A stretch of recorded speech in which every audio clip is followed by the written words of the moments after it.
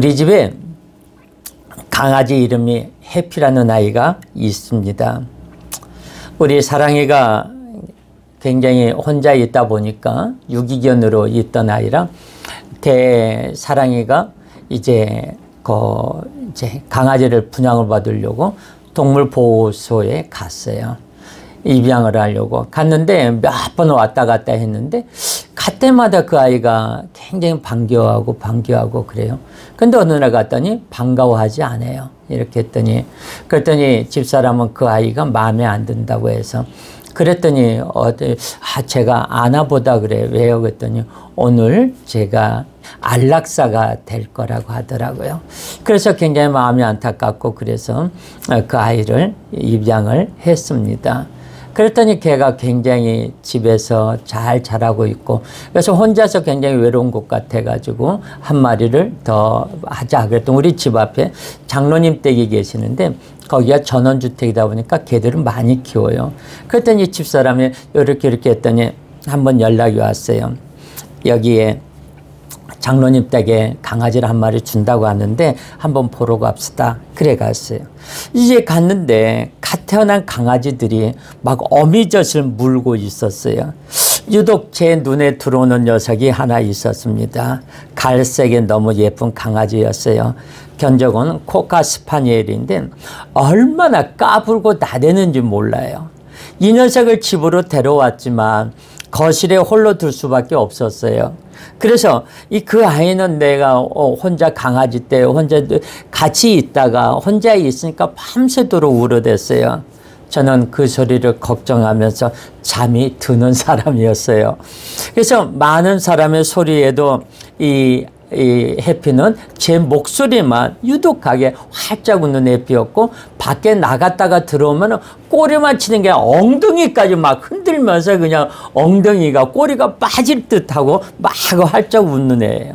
그리고 제발 소리가 멀리서 나면 또 오고 또 TV를 볼 때 있으면 와가지고 앉아 있으면 책을 발로 탁탁 쳐요. 그래서 자기를 비켜달래요. 손을 치워달래요. 그래가지고 내 품에 안기면서 어, 굉장히 편안해지고 아 잠을 자는데 어느 날 잠을 자는데 뭐가 이상해. 뭐 뭔가 이상한 소리가 나가지고 눈을 딱 뜨니까 세상에 내 벽에가 조금 긴데 내 베개를 비고 내 앞에서 나하고 같이 코를 골고 자고 있어요. 그 이렇게 드릉드릉 그 코 고는 소리에 내가 깜짝 놀라서 이렇게 있는데 그 해피아이는 굉장히 행복한 아이예요. 근데 성경에 보면 갈렙이라는 분이 계십니다. 이 엄청난 믿음의 사람이었어요. 그의 이름엔 개라는 뜻이 있습니다. 이분의 믿음은 그의 큰 믿음은 어디서 왔을까요? 여호수아를 도와서 요단강을 건너서 이스라엘을 세울 때 이 갈렙이라는 사람이 굉장히 큰 일을 많이 했어요. 모세를 도와서 여호수아를 도와서 여호수아의 오른팔 역할을 했던 사람이에요. 이 이분의 믿음은 어디서 왔을까요? 주님의 목소리에 활짝 웃고 주님의 발소리에 귀를 기울이고 주님의 품을 가장 편안하고 행복했기에 큰 믿음이 생겼음을 저희는 알 수가 있습니다. 갈렙은 주님의 해피였던 것입니다. 우리도 갈렙처럼 주님의 해피가 되기를 예수님의 이름으로 축원합니다. 하나님은 신실하시고 완전하시고 영원하시기 때문에 하나님께서 우리에게 하신 말씀을 완전합니다. 그리고 영원합니다. 그리고 신실합니다. 하나님은 후회를 하지 않아요. 하나님은 시건하지 않아요. 그래서 우리에게 주신 구원도 안심이 됩니다. 전쟁이 나도 두려워하지 마십시오. 지진이 나도 두려워하지 마십시오. 믿는 자의 복은 안심할 수 있다는 것입니다. 우리는 늘 항상 주님 앞에 어떤 사람은 구원에 대해 불안해합니다. 손을 펴고 사십시오. 그리고 편안하게 사십시오. 하나님은 그런 분이십니다. 하나님의 약속은 반드시 이루어집니다. 그래서 오늘도 어, 제목이 무엇이냐 하면은 약속을 지키시는 하나님이에요. 늘 항상 하나님은 말씀을 이루어 주시고 꿈대로 이루어 주시고 그 약속을 지키시는 분이에요. 그래서 하나님은 늘 항상 약속을 지키신 하나님이시고 오늘 말씀을 보면 야곱을 이스라엘이라고 부르고 있습니다. 야곱이 변하여 이스라엘이 되었습니다. 옛사람이 변하여 새 사람이 된 것을 의미하는 것이죠. 요셉이 살아있다는 말을 듣고 약속의 땅 가나안을 떠나 애굽 땅으로 옮겨가는 과정을 이야기합니다. 우리는 여기서 즉각 갈등을 하게 됩니다. 요셉이 왜 가나안 땅으로 와야 하는 것 아닙니까? 요셉이 분명히 거기에 있으면 여기 아버지가 계시는데 아버지가 있는 곳으로 와야 하는 것 아닙니까? 애굽에서는 늘 실수가 있고 고난이 있었어요. 그런데도 야곱이 애굽으로 가는 것을 볼 수가 있습니다. 너무나 잘 돼서 너무나 번창해서 애굽의 총리가 돼서 부모님을 애굽으로 불러들이는 거예요. 지난주에 그런 이야기를 제가 말씀을 드렸죠. 저희 아버지가 시골에 어, 도시에 나와서 열심히 돈을 벌어서 명절 때 오셔가지고 할아버지에게 논을 사주셨을 때 할아버지는 그때 당시에 제가 기억에도 그냥 생생해요. 어깨에다 힘주고 다녔어요. 그때 평소에 우리 집에 오지 않던 동네 어르신들이 우리 집에 와가지고 밤새도록 이런 이야기 저런 이야기를 하고 가는 것을 몇 번 봤습니다. 이렇게 자녀들이 잘 돼서 그 집안에 무엇을 해준다는 것은 바로 부모들의 자랑입니다. 자녀들이 잘 돼서 하나님의 나라에 좌로나 우로나 치우치지 아니하고 하나님의 나라로 들어가는 것을 보았을 때 하나님이 바로 우리 부모님과 똑같은 마음이라는 거예요. 하나님은 우리들에게 다른 것도 바라지 않습니다. 너희들은 내 안에서 내 믿음 안에서 나의 신실하신 그 사랑 안에서 생활해 다오 하는 거예요. 이런 것도 요구하지 않습니다. 저런 것도 요구하지 않습니다. 오로지 누구를 바라보며 주님만을 바라보며 생활해 다오라는 거예요. 우리는 그것을 깨닫지 못하고 이리로 가다가 옆에서 기웃거리고 저리로 가다 저쪽에서 기웃거리고 오메 저기가 좋은 거 오메 좋은 거 거기 가서 내가 나도 모르게 막 빠져 있다가 거기 수렁에 빠졌다 다시 또 이쪽으로 오고 그런 삶을 우리는 계속 반복해야 하며 여기까지 왔습니다. 주님이 원하는 삶이 무엇일까요? 하나님께서 너는 사랑하는 가족들을 데리고 이 가나안 땅으로 와라 너희가 가 있는 애굽으로 오라고 했을 때 과연 이 사람들의 마음은 어떠했을까요? 하나님의 인도하심입니다. 하나님은 우리를 그의 선하심과 인자심으로 우리의 삶을 끝까지 인도하십니다. 하나님은 불기둥과 구름기둥으로 이스라엘 백성들을 광야에서 인도해 주셨어요. 오늘날 저희들에게 현대에서도 하나님께서 저희들에게 불기둥과 구름기둥으로 인도해 주고 계세요. 그 불기둥과 구름기둥으로 붙잡고 살아가는 저와 여러분들이 되기를 예수님의 이름으로 축원합니다. 그 하나님은 파도가 넘실거리고 비바람이 치는 것과 같은 이 세상에서 우리를 빈틈없이 완벽하게 신실하게 인도하십니다. 이것이 바로 우리가 묵상해야 할 주제예요. 한번 1절 한번 볼까요? 장세기 46장 1절 시작.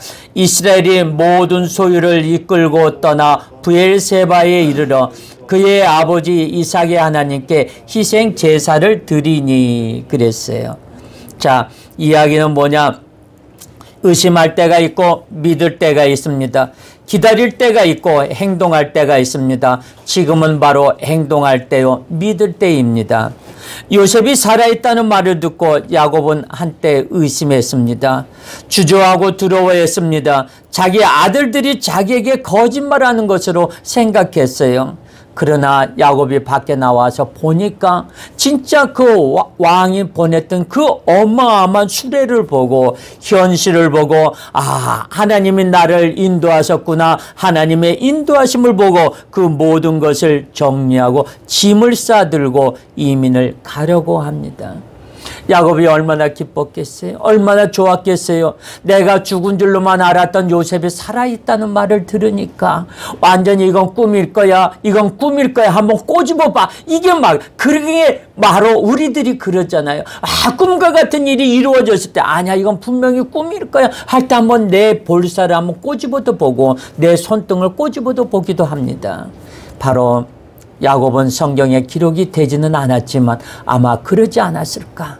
생각을 해보세요. 20, 30년 동안 죽었던 아이를 생각하고 있었는데 20, 30년 만에 이 아이가 살아있다는 그 말을 듣고 그것도 뭐냐 애굽에 굉장한 강대국에 지금으로 말하자면 미국과 같은 곳에 부통령이 되어 있다는 거예요. 얼마나 한번 생각을 해보세요. 생각지도 못한 아들이 거기에 남바 2, 남바 3가 되어 있다니까 그 나라에 총리 대신이 되어 있다는 말 듣고 맨 처음엔 거짓말인 줄 알았는데 내 애네들이 나한테 거짓말하는 거 아닌가 했더니 그 나가서 그 증거가 그때 당시에 왕들이 타고 다니는 마차는 어마어마했습니다. 아마 야곱의 생각을 복잡하게 했던 것 같아요. 아브라함의 하나님, 이삭의 하나님이 약속했던 축복의 땅을 놓고 가는 것이 하나님의 뜻인가 하는 거예요. 가끔 우리는 직장을 정할 때, 그리고 결혼 대상자를 정할 때, 또 내가 살 곳을 정할 때 이곳이 이것이 하나님의 뜻인지를 결정하지 못해서 갈등할 때가 있습니다. 하나님, 내가 이곳으로 이사를 가야 되는 것이 맞나요? 하나님 내가 저 사람을 만나야 되는 것이 맞나요? 하나님 내가 원하던 직장 바로 저곳인데 하나님 저곳이 진짜 하나님이 정한 직장인가요? 하나님은 나를 위해서 예비해 놓은 직장인가요? 하고 걱정하고 근심하며 기도할 때가 상당히 많습니다. 그럴 때 하나님의 음성이 들리면 얼마나 좋겠습니까? 사랑하는 내 아들아 라라 너는 그렇게 해라 라라라 얼마나 좋겠어요. 기도할 때마다 내 그래라 내가 그렇게 사랑하는 내 아들아 내 사랑하는 내 딸아 네가 기도하는 대로 될 것이다 라라라라라라 해봐봐요. 얼마나 그게 좋아요. 그런데 이래 봐도 아무 소리도 안 들리고 크게 들으려고 길을 양, 양쪽 길을 쫑긋하게 세워도 들리질 않고 있으니 이건 기가 막혀서 그런가 코가 막혀서 그런가 왜 나에게 아무런 말씀이 없을까 할 때가 많이 있어요. 이것이 우리들의 마음입니다. 음성이 들리지 않으니까 더듬어 봐야 하고 추측해야 하니까 일을 결정하고도 불안하고 염려할 때가 상당히 많습니다. 어쨌든 야곱이라고 불리는 이스라엘은 아들이 있는 애굽으로 가기로 결정합니다. 가족들을 데리고 짐을 싸서 갑니다. 사실 그 결정도 쉽지는 않았을 거예요. 가나안이 가나안의 경계인 부에세바에 이르렀을 때 야곱이 희생 제물을 드립니다. 오늘 배워야 할 것이 바로 이거예요. 가기로 결정했어요. 그것을 확인받고 싶었어요. 그래서 하나님께 예배를 드립니다. 여러분이 그 문제를 놓고 하나님 앞에 내가 하나님 이 이야기를 해야 되는 건가요? 이 일을 해야 옳은 곳인가요? 내가 이곳으로 이 직장으로 들어가야 주님이 정한 직장입니까? 하고 놓고 이 집이 주님이 정한 나의 우리 가족의 삶터입니까? 우리 가족의 요거 이곳이 본향이 될 수 있습니까? 라고 기도를 하는 것이 상당히 좋다는 거죠. 저는 기도하기를 원합니다. 내 결정을 내 마음대로 결정하지 마십시오. 내 생각대로 결정하지 마십시오. 항상 하나님 앞에 놓고 기도하는 것입니다. 저는요, 어, 볼때 이제 제가 이제 노회장이다 보니까 아 목사님들이 이제 개척을 해가지고 이전을 해가지고 딱 가서 보면은 그 상가에 절이 있어요. 그 상가에 무당집이 있어요. 그 상가에 이상한 철학관이 있어요. 그런데 꼭 그 건물에다가 이렇게 그 교회를 얻어가지고 거기서 교회를 이렇게 시작하시는 분들 보면은 참 답답해요. 제 마음이 아픕니다. 아, 그래서 이야기합니다. 아, 목사님, 아, 이거 싸워서 이기면 됩니다. 싸워서 쫓아내면 됩니다. 물론 쫓아내야죠. 기도하고 쫓아내야죠. 그런데 그것이 없으면 그럴 필요가 없잖아요. 왜 소모적인 싸움을 만드느냐 이거예요. 안 만들어도 될 걸. 이 소모적인 것을 왜 내가 만들어야 되나요? 아니 이렇게 가는데 이렇게 가는데 웅덩이가 있어요. 웅덩이가 물이 이렇게 고여 있어요. 그 물을 밟고 첨벙첨벙 지나갑니까? 피해 가잖아요. 피해 가야죠. 맞아요. 피해 가야 돼요. 그런데 우리는 그걸 밟고 지나가요. 그럴 때 보면 참 답답합니다. 왜? 하나님께서 우리가 분명히 아 그러니까 하나님께서 이것을 주셨답니다. 그래놓고 나중에 가서 보면 지가 지쳐가지고 지가 이게 어, 교회도 못하고 엉뚱한 데로 이사가 다시 가야 되고 우리는 그거 잘 봐야 돼요. 가급적이면은 그렇지 않아야 됩니다. 저도 맨 처음에 교회를 그쪽으로 가게 될 때 무당집이 있어가지고 저는 저는 안 가려고 그랬어요. 주인이 이야기를 합디다. 어, 목사님 걱정하지 마세요. 저기 나갈 겁니다. 그러면 내가 우리 교회가 짓는 동안에 저 간판 띄게 할 수 있냐? 띄게 하겠다고. 띄워주겠다고. 그래가지고 그 우리 교회가 들어가지고 한 달 동안 있기로 했는데 한 달 내에 나갔다 그랬더니 새벽마다 가져 대문 앞에다가 기도했어요. 안수했어요. 그랬더니 2주일 만에 어, 어, 한두 달 있어야겠다는 사람이 어, 이사를 갔어요. 그것도 뭐냐? 밤에 도망갔어요. 그리고 나서 나와가지고 이렇게 새벽기도 하고 오면은 이렇게 보면 이해 보니까 또 무당집이 하나 있어요. 하나님 이것이 무엇입니까? 또 이럽니까? 그러면서 그 집에 가서 새벽마다 문을 대고서는 문꼭지에다 대고 기도했어요. 이것이 없어질지어다, 없어질지어다. 하고선 기도하고서는 나중에 한두 달 지났나요? 그래서 이제 미장원에서 이제 머리를 이제 이렇게 하는데 그 원장님이 그래 목사님 예 목사님 여기 무당집 이사 간 거 알아요? 근데 그 무당집이요 자녀들이 꽤 많대요. 그러니까 쉽게 말하자면 그 자녀라고 했다는 게 무당들은 다 엄마라고 한대요. 부르기를 이렇게 신내려 가지고 해준 사람이 한 4, 500명 된대요. 근데 굉장히 짱짱하게 그 집이 잘 나갔어요. 그런데 어떤 때부턴가는 그 사람의 병들고 그 사람 가지고 혼자 씩 웃었어요. 말하는 게 뭐냐. 내가 새벽마다 거기다 문고리 붙잡고 안수했던 게 기억이 나더라고요. 한두 달 만에 없어졌어요.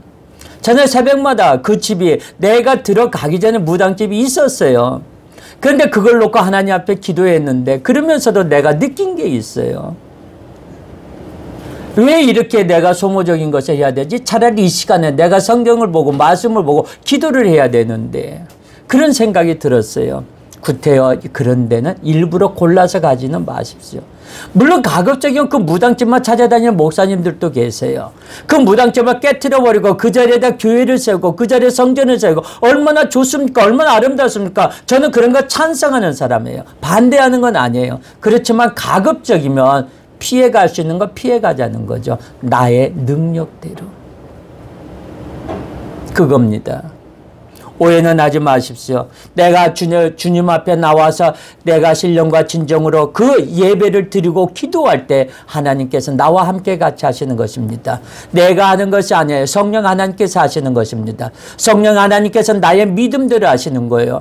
저와 여러분들에게는 여러분의 믿음에 따라서 성령의 천군 천사들이 있습니다. 믿음에 따라서 천사들이 있고 천사들이 몇 명인지 다 정해져 있어요. 어떤 분들은 천사들 사단을 끌고 다니는 성, 어, 목사님도 계십니다. 어떤 분은 어, 보면은 어떤 목사님은 어, 천군 천사들을 끌고 다니는 천사들이 몇 명 안 되는 사람도 있어요. 그것은 뭐냐? 그 사람 믿음과 능력에 따라서 달라지는 것입니다. 내가 믿음 있고 내가 능력이 있고 거기에 대해서는 하나님께서 나와 천군 천사 능력들이 거기서 나오기 시작합니다. 우리는 성령의 사람들끼리 만났을 때는 서로 성령이 취하는 것을 볼 수가 있어요. 성령에 취한다는 것은 무엇입니까? 앉아가서 성령들끼리 같이 이야기를 합니다. 예, 솔로몬이 하나님 앞에 일천번제를 드릴 때 제사장이 몸이 흔들고 안개와 같이 그곳이 제사장이에요. 제사장의 그 장소가 제사되는 그 장소가 성전이 흔들렸다고 그랬어요. 그 흔들렸다고 하는 것은 무엇입니까? 바로 성령이 충만했다는 거예요. 마가의 다락방에서 120명의 문도가 하나님 앞에 예배를 드릴 때 방언을 받고 성령이 임했을 때 그냥 완전히 지붕이 흔들흔들 거렸어요. 지진이 일어나는 것처럼요. 그렇습니다. 말씀을 볼 때, 말씀을 볼 때, 그 말씀에 믿음이 있습니다. 믿음에는 뭐냐? 거기에 말씀이 있고, 그 말씀에 무엇이 나오냐? 능력이 나오는 거예요. 말씀에는 능력이 있습니다. 그 말씀들이 이루어져야 됩니다. 내가 말씀을 선포하는데 그 말씀이 이루어져야 돼요. 그것이 바로 믿음이고 그것이 바로 성령입니다. 내가 하는 것이 아니에요. 내가 선포하는 대로 이루어져야 되고 하나님의 말씀은 꼭 이루어집니다. 하나님께서는 약속을 지키신 하나님이에요. 내 입으로 선포하는 대로 내 입으로 내가 기도하는 대로 내 입으로 하나님 앞에 부르짖어 기도하는 대로 모두가 다 이루어지시기를 예수님의 이름으로 축원합니다. 하나님 앞에 능력받고 기도드릴 수 있고 결정하고 불안할 때가 있어요. 그때는 뭐냐? 예배를 드리십시오. 그리고 하나님 앞에 재물을 드리고 재단을 쌓으십시오. 그동안은 멈추어 서십시오. 마음의 뜻과 정성을 다하여 예배를 드릴 때 하나님의 음성이 들리고 마음에 느껴지고 하나님의 인도를 받습니다. 우리의 실수는 자신의 열정으로 일을 하다 보니 자기가 보이지 않게 되는 거예요. 일만 보이지 하나님이 보이지가 않습니다. 하나님이 자신이 편이 되어야 된다고 생각합니다. 하나님이 내 기도를 들어주셔야 하고 내 비전을 이루어 주셔야 한다고 생각합니다. 하나님은 제게도 이것에 대해 묻는 시간을 주셨어요. 멈추어 서게 하십니다. 어떤 때는 망하게도 하십니다. 어떤 때는 병들게도 하셔서 확인하게 하십니다. 인공위성을 쏠 때 궤도 수정이라는 말을 자주 듣습니다. 지구에서는 과학자들의 각도를 계산해서 인공위성을 쏩니다. 그렇다고 끝난는 것이 아니에요. 거리가 너무 멀기 때문에 가면서 계속 궤도를 수정해야 됩니다. 목표는 분명합니다. 의도도 분명합니다. 그러나 너무나 먼 길이고 불안하기 때문에 목표 지점에 갈 때까지 계속 궤도를 수정합니다. 하나님도 우리의 궤도를 수정하시고 계십니다. 걱정하지 마십시오. 결국은 하나님이 원하시는 자리에 가 있게 될 것입니다. 어떤 분이 너무나도 힘들어 하세요. 사업에 망했어요. 하나님 앞에 나와 기도합니다. 하나님, 우리 가정 아시죠? 너무 힘들고 어려워요. 저의 사업을 이렇게 세워주십시오. 이렇게 세워주십시오. 하면서 하나님 앞에 그 축복을 받으면서 그 사업장이 일어났어요. 그 사업장이 일어나서 보니까 그 사업장이 너무너무 잘 되고 있어요. 그래서 이 사람은 맨 처음에 주의를 지켰습니다. 주의를 지키면서도 보니까 하루 24시간이 대려 모자라는 거예요. 왜? 회사가 너무너무 잘 돌아가는 거예요. 하나님의 축복해 주셔서 하나님의 복으로 인해서 막 나가는 거예요. 그러다 보니까 뭐냐 교회를 한번 빠지게 되는 거예요. 수요 예배도 빠져요. 그러다 보니까 또 금요 예배도 빠져요.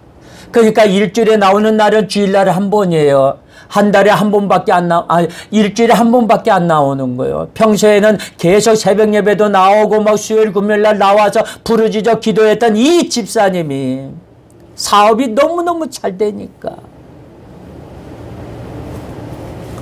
안 나오는 거예요. 어느 날 목사님이 신방을 갔습니다.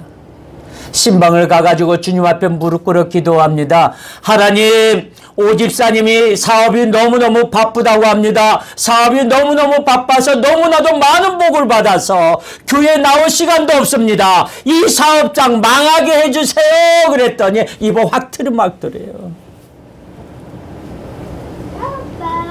그렇습니다.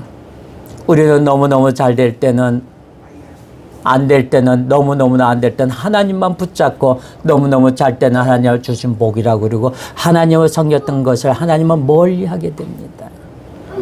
바로 우리들이에요. 우리들이 그렇습니다. 결국은 하나님이 원하시는 자리에 가 있게 될 것입니다. 야곱이 여기서 예배를 드리고 기도를 하고 제사를 드립니다. 여러분 하나님을 섬기실 때 예배를 놓치지 마십시오. 예배보다 중요한 것은 없습니다. 예배는 하나님과의 깊은 관계로 들어가는 거예요. 하나님을 묵상하는 것이 바로 예배입니다. 하나님의 임재 가운데 들어가는 것이 바로 예배입니다. 일 속으로 사역 속으로 들어가는 것이 아니에요. 모든 사역의 힘은 예배로부터 흘러 넘치는 거예요. 예배가 있으면 사역은 피곤하지 않습니다. 사역은 할수록 힘이 납니다. 병든 자는 일하면 일할수록 피곤하고 건강한 사람은 일할수록 힘이 납니다.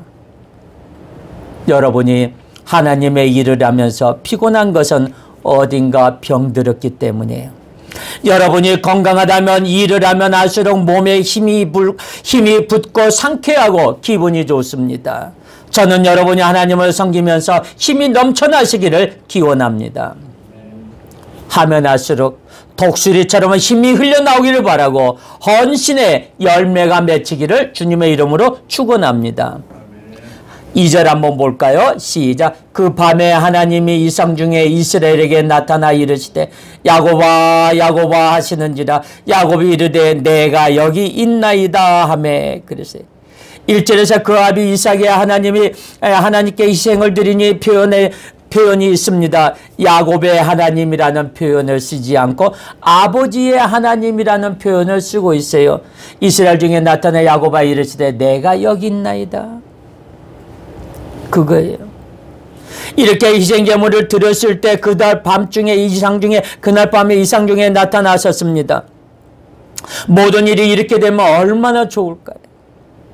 사도 바울이 전도할 때 성령님이 그 얘기를 막았습니다. 그를 바닷가로 몰고 갔습니다. 사도 바울은 왜 하나님은 나를 이곳으로 오게 하셨을까라고 많은 생각을 했을 거예요. 그날 밤 이상 중에 마게도냐의 청년이 와서 우리를 도우라고 이야기를 합니다. 그래서 그는 바다를 건넜습니다. 빌립보로 갔습니다. 아는 사람이 하나도 없는 그곳에서 사도 바울은 기도처를 찾아다니고 있었는데 가는 길에 만난 여자가 루디아라는 여자예요. 그리고 빌립보 교회가 세워지고 그것이 지금의 유럽의 전도의 첫 문을 여는 사건이 됩니다. 이것이 바로 하나님의 경륜, 섭리, 인도하심이에요. 그날 밤에 하나님은 나타나셔서 야곱에게 이렇게 말씀하십니다. 야곱아, 야곱아, 벌써 여덟 번째 하시는 말씀이에요. 하나님은 야곱을 부르셨어요. 야곱은 인도하셨습니다. 야곱을 이스라엘로 바꾸셨어요. 하나님은 신실하셨고 자격이 없으면 만들어서라도 복을 주시는 하나님이십니다. 죄인을 의인으로 만들어서 복을 주셨습니다. 그때 야곱이 대답합니다. 주여 내가 여기 있나이다. 야곱아 야곱아 주여 내가 여기 있나이다. 이 말은 모세도 했어요. 여러분도 아시기를 예수님의 이름으로 축원합니다. 내 사랑하는 내 아들아 내 딸아 부를 때 주여 제가 여기 있나이다 말씀하시옵소서 하나님이 부르시면 도망가지 마시고 내가 여기 있나이다. 내가 순종하겠나이다. 라고 말씀하시기 바랍니다. 한번 3절 볼까요? 시작. 하나님이 이르시되 나는 하나님이다 내 아버지의 하나님이니 애굽으로 내려가기를 두려워하지 말라. 내가 거기서 너로 큰 민족을 이루게 하리라. 그랬습니다. 하나님은 내가 하나님이다라고 말씀하시는데 참 단어가 재미있어요. 여기서는 뭐냐 하엘이 하엘이라고 말씀하시는데 하는 뭐냐 영어의 정관사 더를 이야기합니다. 더와 같아요. 엘은 뭐냐 하나님이에요. 그래서 즉 뭐냐 내가 바로 그 하나님이다. 내가 바로 그 하나님이다 라고 말씀하시는 거예요. 그리고 내 아비의 하나님이라고 말씀하십니다. 아비에게 주었던 약속을 아들에게도 지금 주고 계십니다. 복은 전승돼요. 복은 이에서부터 내려와요. 뭐라고 그랬나요? 하나님께서 너에게 벌은 3, 4대까지 주고 축복은 복은 언제까지 천대까지 주시겠다고 하신 하나님이에요. 그러니까 하나님의 복은 뭐냐? 계속 전승되는 거예요. 하나님의 복은 내가 내려오는 거예요. 다윗이 무엇이냐? 그 자녀들이 다윗이 집안이 잘 됐던 것은 무엇이냐? 다윗의 그의 하나님 앞에 순종했던 그 모습을 보고 솔로몬은 그 자리에서 칠 수 있었음에도 불구하고 내가 너의 아버지의 행했던 그 믿음을 보고 내가 너를 참겠노라고 이야기하시는 거예요. 그래서 그 복이 누구한테로 그 저주가 르보암에게로 내려가잖아요. 여러분의 자녀와 자녀에게도 전승되기를 바랍니다. 그래서 자녀들이 우리의 아버지 하나님이라고 말할 수 있기를 바랍니다. 이런 하나님에 대해서는 안 돼요. 아버지하고 아들이 앉아서 기도를 합니다. 아버지가 이야기합니다. 기도합니다. 하나님, 하나, 아버지, 아버지 도와주시고 우리 가정을 이끌어 주시고 아버지, 아버지 그랬더니 그 옆에 있던 아들이 놓고서는 기도하니까 하나님 앞에 기도할 때 아버지는 아버지, 아버지 하고 기도하는데 그 아들은 뭐라고 기도하냐? 할아버지, 할아버지, 할아버지라고 기도를 하더래요.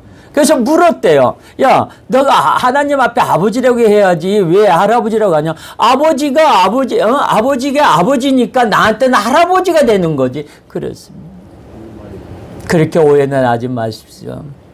내 자녀에게도 네 자녀의 아버지십니다. 나의 아버지, 나의 할아버지가 아니라 나의 아버지가 되는 거예요. 본인의 아버지와 본인의 딸이 되는 거예요. 자녀가 되는 거예요. 야곱에게는 이삭에 대한 기억이 있고 이삭은 아브라함에 대한 기억이 있습니다. 그래서 하나님은 내 아비의 하나님이라고 말씀하십니다. 그 하나님이 애굽으로 가는 것을 두려워 말라고 하십니다. 여기서 세 가지를 말씀하고 계세요. 첫째는 뭐냐? 내 조상의 하나님이라는 거예요. 이것은 필요해서 급조된 하나님이 아니라는 거예요. 일시적인 하나님이 아니라는 거예요. 태초의 천지를 창조하시고 역사를 이끌고 내 조상을 믿음의 조상으로 세운 바로 그 하나님이라는 거예요. 둘째는 뭐냐? 애굽으로 가라고 말씀하고 계십니다.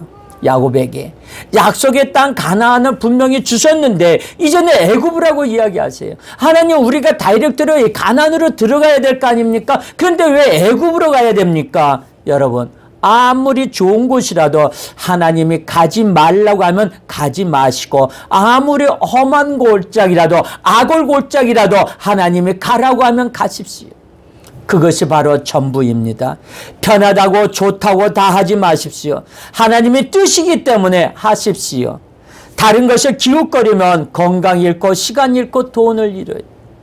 세 번째는 뭐냐? 하나님이 애굽에서 큰 민족을 이루어 주겠다고 약속하십니다. 그러나 다시 보십시오. 애굽이 영원하다는 것은 아닙니다. 다시 돌아오게 하겠다는 거예요. 하나님께서는 뭐냐 하면은 거기에 흉년이 들고 할 때는 야, 어, 요셉이나 아, 야곱이나 그리고 모세 아브라함도 뭐냐 이것을 피하게끔 거기에 대해서 저기가 기근이 왔을 때 피하게끔 만들어 주십니다. 여기도 마찬가지예요. 여기도 기근이 왔어요. 7년 지금 6년이 왔어요. 7년 6년이 와가지고 지금 2년째 지금 어, 들어가고 있어요. 하나님께서 7년 동안 흉년이 오겠다고 약속했기 때문에 여기에서는 지금 현재는 먹고 살고 할 것이 아무것도 없어요. 그럴 것이 뭐냐? 먹을 것이 있는 곳을 너는 이곳으로 일단 피신하라는 거예요. 하나님께서 분명히 가난을 가, 가난 땅으로 가라고 했는데 왜 애굽 땅으로 인도하셨을까? 이곳에 일단 피신시키는 거예요. 이곳에 가는 피신 하나님께서 피신을 시키는 곳에는 반드시 거기에 훈련과 교육이 있고 복이 있습니다. 우리는 나머지 이 이야기를 너무나도 잘 알고 있잖아요. 여기서 처음에는 잘 되고 있다가 나중에는 노예 종살이로 된다는 거, 노예로 된다는 것도 우리가 알고 있잖아요. 하나님이 다시 보십시오.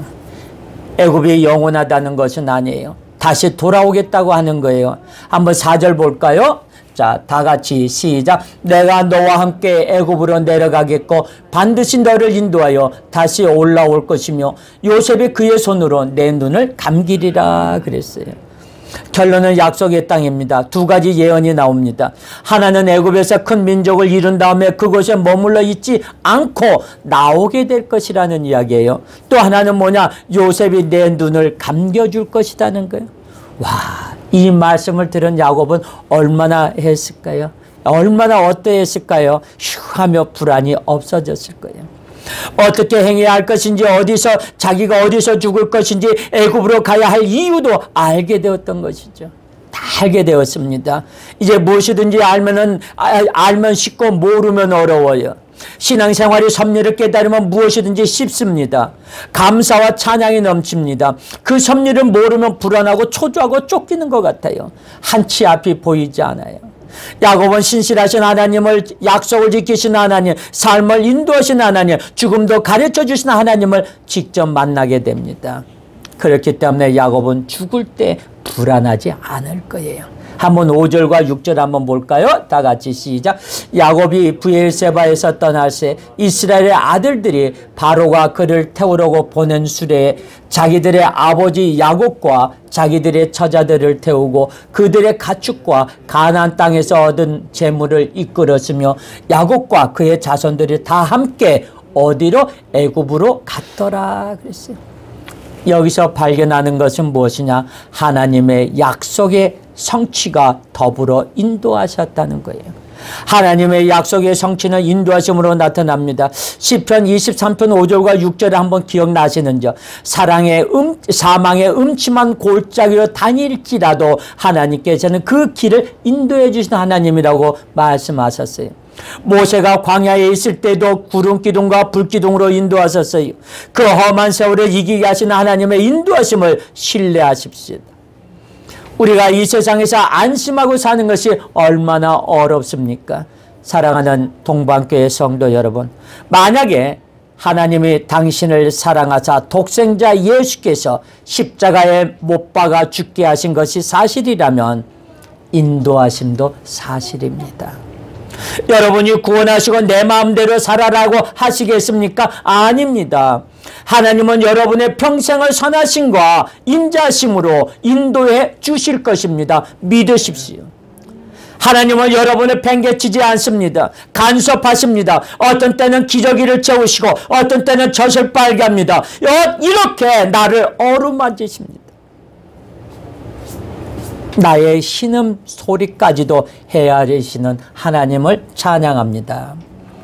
우리 6절과 우리 한번 7절 한번 볼까요? 다 같이 시작. 이와 같이 야곱이 그 아들들과 손자들과 딸들과 손녀들 곧 그의 모든 자손을 데리고 어디로 애굽으로 갔더라 그랬어요. 자, 하나님께서 선하게 인도하시는 것을 볼 수가 있어요. 자, 우리 28절 한번 볼까요? 28절에서 30절까지 한번 보겠습니다. 자 시작. 야곱이 유다를 요셉에게 미리 보내어 자기를 고센으로 인도하게 하고 다 고센 땅에 이르니 요셉이 그의 수레를 갖추고 고센으로 올라가서 그의 아버지 이스라엘을 맞으며 그에게 보이고 그의 목을 어긋 맞춰 안고 얼마 동안 울매 이스라엘이 요셉에게 이르되 내가 지금까지 살아있고 내가 내 얼굴을 보았으니 지금 죽어도 족하도다 요즘으로 말하자면 이상가족이 상봉을 한 거예요. 우리가 텔레비에서 이상가족 상봉하는 거 보면은요. 너무너무 우리가 그냥 눈 뜨고 못 보죠. 나도 모르게 나와가도 상관이 없는데 그거 보고 마음이 아프는 거. 나도 모르게 눈물이 주르르 흐르는 거예요. 우리 전에 KBS에서 이상가족 찾기가 행사가 있었죠. 그때 동안에 거지니까 몇 달 동안 하면서 그냥 KBS 앞이 그냥 완전히 텔레비가 그냥 24시간 계속 불가동됐죠. 제가 다니던 교회에서도 그 장로님도 혹시 우리 가족이 나오지 않을까? 내가 아는 사람이 나오지 않을까? 이 실향민들은 전부가 텔레비 24시간 켜고 본 거예요. 화장실도 안 가. 밥도 여기 앞 텔레비 앞에서 먹는 왜? 내가 잠시 눈을 돌리면 혹시 누가 나를 찾는데 내 형제가 나를 찾는데 우리 아버지가 나를 찾는데 우리 부모님이 나를 찾는데 우리 동생들이 나를 찾는데 내가 못 볼까 봐. 그냥 24시간 앞에서 꾸벅꾸벅 졸다가도 번쩍 일어나 혹시 지나갔는가 보시는 거. 자녀들을 보내서 때 어, 방송국에 가봐라. 아니면은 내가 가서 본인이 직접 가서 보기도 하시고 그랬던 분은 우리 장로님이 계셨어요. 드디어 야곱은 요셉을 만났습니다. 한바탕 울었어요. 한동안 울고 하나님께 생각했습니다. 주여 이렇게 미천한 자에게 하나님은 어찌하여 선대하십니까? 이렇게 영광스러운 나를 나를 주인공으로 주십니까? 저는 야곱에게 감사와 감격이 있었다고 생각해요. 얼마나 기뻤겠어요. 여러분 한번 생각해 보세요. 내 죽었다고 생각했던 내 아들이 말로만 듣고 얼마나 그 길을 달려올 동안에 어, 얼마나 아버지의 마음은 거기 어디 아마 저기 애굽에 가 있을까? 요셉이 어떻게 생겼을까? 얼마나 변했을까? 이 요셉이 어떻게 살았을까? 얘가 지금까지 여기서 가정을 이루고 있을까? 결혼을 했을까? 결혼했다면 애들이 있을까? 딸이 있을까? 누가 있을까? 여러 가지 상상을 하면서 올라왔을 거예요. 한번 생각해 보세요. 여러분이 직접 야곱이 되어 가지고 요셉을 찾으러 간다고 한번 생각해 보십시오. 우리 어머니가 나 군대에서 훈련받고 있을 때 면회 올 때 여러 가지 상상을 하고 오셨대요. 내 아들 놈이 몸이 안 좋아가지고 병, 어, 군대 입대했는데 제가 어떻게 훈련을 받고 있을까 어떻게 했을까 하고 딱 처음에 봤을 때 살이 뒤죽뒤죽 쪄 있는 거 보고 굉장히 기뻤대요. 그 마음이라고 봅니다. 우리 주 아빠도 얼마 남지 않았어요. 우리 주호도 그렇고 우리 선교사님도 어 이삭이 군대 가고 할 때 얼마 남지 않았어요. 금방이더라고. 예, 금방이에요. 저는 야곱에게 감사와 감격이 있었다고 생각하고 힘없는 노인이 된 야곱, 자식들을 쫓아 다녀야만, 다녀야만 하는 처지가 된 야곱을 하나님은 버리지 않으시고 기쁨을 주시고 복을 주십니다. 그래서 야곱은 이렇게 말합니다. 지금 죽어도 가하도다. 그런데 어떤 사람을 보면 죽을 때 억울한 표정을 지으며 죽습니다. 내가 안 죽어야 되는데 내가 안 죽어야 되는데 죽는다는 듯이 죽습니다. 이런 사람의 얼굴은 평안하지 않아요. 한이 맺혀 있습니다. 저는 여러분의 얼굴에 한이 맺히지 않기를 바랍니다. 찡그리고 고통스러운 얼굴이 아니기를 바랍니다. 이렇게 죽는 사람은 이런 찬송가를 부를 수 있을 것입니다. 한번 불러볼까요? 찬송가 413장 한번 불러보겠습니다. 내 평생에 가는 길.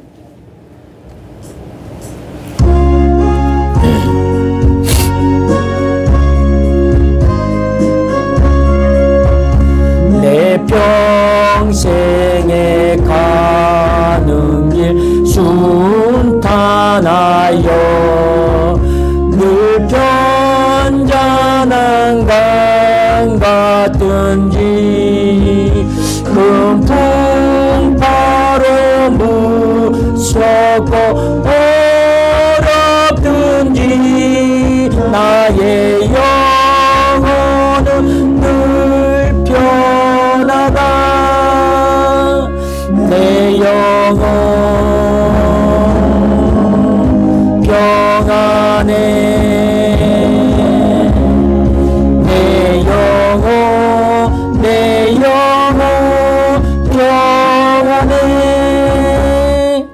그렇습니다 내 영혼 평안해 내 영혼 평안해 내 평생에 가는 길 순탄하여 늘 잔잔한 강 같든지 그랬습니다. 하나님께서는 오늘도 나를 사랑하시고 오늘도 저희들을 축복하십니다. 그렇습니다. 예수님은 우리를 버리지 않으셨습니다. 주님은 우리를 인도하십니다. 사랑하는 우리 동방교회 성도 여러분 안심하십시오. 하나님은 여러분이 죽는 순간까지 지켜주십니다. 그리고 천국까지 인도하십니다. 기죽지 말고 사십시오. 세상의 시시한 사건들로 인하여 하나님의 사랑을 의심하지 마십시오. 하나님은 여러분을 사랑하십니다. 인도하십니다. 축복하십니다. 믿으십시오. 어깨를 펴고 가십시오. 찬송을 부르며 가십시오. 찬송을 부르며 주님 앞에 나가는 우리 동방교회 성도들이 되시기를 예수님의 이름으로 축원합니다.